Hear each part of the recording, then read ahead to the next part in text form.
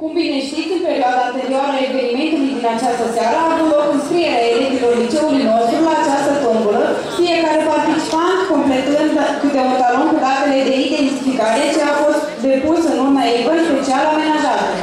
În această seară vor fi 5 extrageri, în urma căror vor fi desemnați 5 câștigători. Ce vor primi premii costând produse Evan, premii puse la dispoziție de către doamna Răutu Lăcămeană. Managerul Evan Maşallah, önce bebek sergilerini.